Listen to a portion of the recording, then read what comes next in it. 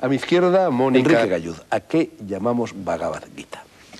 Bien, para decirlo brevemente, la Bhagavad Gita o el canto del Supremo es un poema místico filosófico que está interpolado en la más grande epopeya de la India, el Mahabharata. O sea que estamos hablando de una recopilación que se hizo entre los siglos II antes de Cristo y II después de Cristo, aunque eh, se considera que la Bhagavad Gita es muy anterior.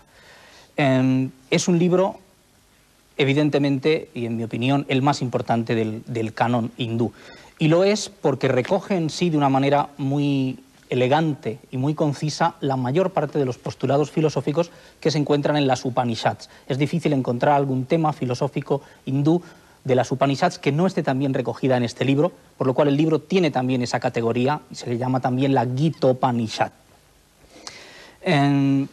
Es evidentemente el libro más conocido, más celebrado, como, ha dicho Fernando, entre los hindúes, y lo es por su belleza y por su precisión. Eh, su planteamiento es muy sencillo. En el campo de batalla, el príncipe Arjun se ve en la necesidad de pelear contra sus primos que le han usurpado el trono y cuando va a comenzar la batalla le dice a Krishna, que es su auriga, es una encarnación de Vishnu, que yo no voy a pelear. Yo, por todo el oro del mundo, por todos los reinos de este mundo, no voy a matar a mis parientes, no voy a cometer violencia. Y entonces Krishna se le manifiesta como, como lo que es, como una encarnación del Ser Supremo, y le dice unas claras verdades. Le dice, mira, Nadie mata ni nadie muere en este mundo porque lo que es siempre ha estado ahí, siempre estará ahí. O para decirlo en términos occidentales, la energía ni se crea ni se destruye, solo se transforma. Entonces tú lo que tienes que hacer es cumplir tu deber y tu deber como guerrero que eres es combatir. Debes hacer la acción y despegarte de los frutos de la acción. Y a partir de ahí le va dando una sucesión de enseñanzas filosóficas relativas al concepto de Brahman, del absoluto, de lo que es el ser, la esencia de, de eso que llamamos Dios, la energía o como lo queramos definir, que es todo y fuera de lo cual no hay nada. Le habla de otros conceptos como del concepto del, karma, de la ley de causa y efecto que hace que los seres vivos, todos, tengan el fruto de sus acciones. Le habla del dharma, del deber, le habla de la reencarnación y de todos esos puntos que constituyen eh, las doctrinas, los postulados filosóficos de lo que eh, conocemos. la Bhagavad Gita llega, si no estoy equivocado, en 1874 a Occidente. ¿Cómo? ¿De qué forma? Pues, Enrique, no. Eh, Charles Wilkins, quien la traduce en primer lugar con, el, con la ayuda, por así decirlo, de, de la Compañía de las Indias. Eh, y eh, esa es la primera versión que se conoce, aunque luego los estudios de Max Müller pues, ayudan. Y ya a partir de ahí, en el romanticismo alemán, Schlegel, versión a gente, sí, son los que lo han popularizado y los que han llevado a, Occidente esas... Yo creo que el libro se explica por sí mismo, entonces sin desmerecer en absoluto la, tradición discipular y las enseñanzas que un maestro te puede dar, yo creo que es un libro que, del que cualquiera, a nivel individual, con un esfuerzo honesto, puede sacar Incluso cualquier occidental, Enrique. Cualquier occidental. Yo, estoy de acuerdo con eso. Hay que tener cuidado en lo que, en lo que indicabais de, la, de, las traducciones de los términos, porque eso es uno de los grandes problemas que hay al tratar la filosofía, y es que muchas veces, en vez de dar un sentido al término filosófico, lo que hemos hecho ha sido darle un equivalente nuestro. Y entonces eso sucede, y sucede en la mayor parte de las traducciones de, de la, de la Gita, con los, con los términos más importantes. Por eso yo casi, aunque me gusta mucho la versión de Tola, pero la de Adrados quizá eh, la veo un poco más rigurosa.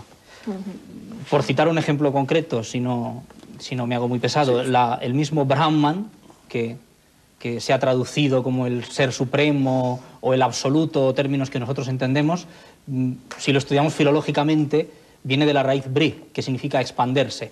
O sea, la manera que tiene el hinduismo de hablar de ese ser supremo es lo que se expande. Estamos hablando de un concepto totalmente físico. ¿Qué es lo que sabemos del universo en que estamos? Que se expande. Bien, pues ese es el concepto que se tiene. Al llamarlo simplemente el ser supremo podemos entrar en una noción más de simplemente de un Dios eh, muy poderoso, pero que no es todo. ante un libro de ética o ante un libro de metafísica o ante un libro de ética y de metafísica. Es eh, metafísica en primer lugar y la ética viene dada después, aunque el mensaje que se da, ¿qué es el yoga? Definido, actúa y olvídate de los frutos de la acción. Eso es el yoga, que es lo que está dicho. Sin embargo, se nos está dando una visión del universo, del ser, de lo que es y de sus características y de cómo nosotros estamos integrados en ello y el resto de los seres y qué leyes nos rigen, si es que hay alguna ley que nos rija. Estamos hablando de metafísica en primer lugar. Si fuera solamente un libro de ética, tendría un valor mm, mucho más limitado del que tiene. Sobre la ética me gustaría añadir un punto, aparte de esto, que por supuesto es, lo, es la, enseñanza que se nos da en cuanto a la ética, y es que en el hinduismo la ética tiene un, un giro distinto, no se establece todo en términos de bien y mal, sino que se establece muchas veces en términos de conocimiento e ignorancia. Y muchas veces se establece un paralelismo, el bien como conocimiento, búsqueda del conocimiento, y el mal como ignorancia, carencia de conocimiento. Entonces, muchas veces, y esto también puede ser malinterpretado, para llegar al conocimiento puedes ir por caminos tortuosos o por caminos que socialmente pueden estar mal considerados, en cuyo caso una acción tendente a la ética podría ser moralmente mala. ¿eh? Pero la, en definitiva, aparte de que, por supuesto, al hacer acciones tenemos que prescindir del resultado, eh, lo que se nos intenta enseñar es que tenemos que intentar aprender. ¿Y qué es lo que tenemos que aprender más sobre nosotros mismos? Esa es la diferencia. El, el vedismo ¿eh? Para ellos la religión consistía en respetar los, ritos, eh, saber los textos. Para este nuevo hinduismo que ya ha surgido y que en el Bhagavad Gita se nos cuenta, la esencia es volver a buscar la identidad real, buscar a, ese ser que lo es todo dentro de uno mismo, qué parte eres tú de ello, eh, y, es una búsqueda de, del ser supremo. Y eso es lo bueno. Lo bueno que puedes hacer en este mundo no es ser bueno con los demás, ni siquiera comportarte de una acción, de una, con una acción mejor o peor, sino buscar. O sea, en el mundo no estamos para ser buenos, sino para aprender. Y eso es un poco lo que se nos dice el Bhagavad La Gita ha servido de ejemplo a muchos literatos, pensadores de Occidente, no solamente a Kipling. Eh, tienes a Emerson, tienes a Walt Whitman, tienes a Hermann Hesse, tienes a Stephen Zweig, tienes a, podríamos decir aquí nombres y nombres y nombres que han hecho obras basadas eh, en estas enseñanzas, de una manera más directa, de una manera más alegórica, adornándolo con, un cuento, con una historia, pero que nos están diciendo de una manera más cercana a nosotros, más occidental quizá, eh, esas mismas verdades.